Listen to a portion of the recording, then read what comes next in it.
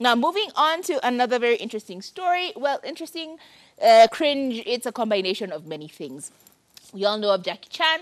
He has been a martial arts um, actor for a long time. He has won many awards for being an exceptional Asian actor. And we all know he got money, money. Like, I mean, he got money.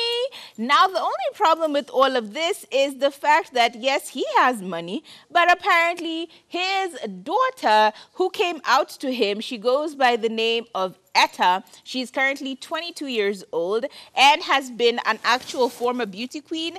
Um, unfortunately, is somehow cancelled. Okay, I'll start the story from the top. Now, Jackie Chan was married to a very beautiful actress in in um yeah, very beautiful actress who goes by the name of Joanne Lin. Okay, Joanne Lin was Taiwanese and she was also an actress. They got married and they had two children. Two children who are um, Etta, who is the son, and no, sorry, Jaycee, who is the son, and Etta. Okay, so the two of them married and have children. However, he had an extramarital affair in 1998 with. Um, Elaine NG, who is now the the mother to his daughter stroke son. Uh, yeah, to the daughter, sorry. She's not actually a them. She's just a she. So unfortunately or fortunately, they've never really had a really good relationship from way back when. We remember conversations with NG saying things like, he is my biological father, but he is not in my life. He has never existed in my life.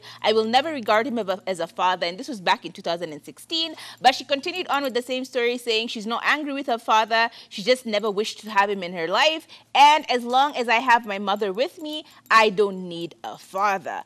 But fast forward to about 2018, when she came out to her parents and she was dating this particular uh, woman, it came out that the parents did everything short of disowning her. So they ended up living in Canada, but mm, they were homeless. They were pretty much living under bridges and all of this.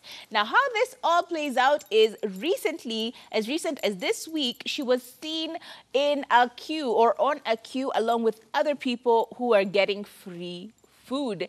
And the world is in pain because they're like, wait, how are you a millionaire who has allowed your other child, this is Jaycee, I just told you he has another son, and his other brother to be running around in like Rolls Royces, living their best lives, living in luxury and extreme luxury at that? How are you allowing that to happen when on the other side, your daughter Etta is not only homeless, she's in a whole other country, which is not where you reside. You have not uh, given her any, any semblance of help at all. So that's been the conversation that's been going on online. And it would seem that this is all simply because he hasn't accepted her and her queer stroke LGBTQI plus uh, relation. So that's just a whole mess. It's a, it's a lot. Yeah, it's a lot. It really is a lot. So I don't know. I think it's difficult to think about these conversations, especially when they're very close to home. How would you deal with your own child coming out to you? How would you deal with that? It's a lot. It really is a lot. But it's entirely up to you how you deal with it. Always remember, love is a beautiful thing. Love is a beautiful thing. Let people love each other. That's my stance anyway.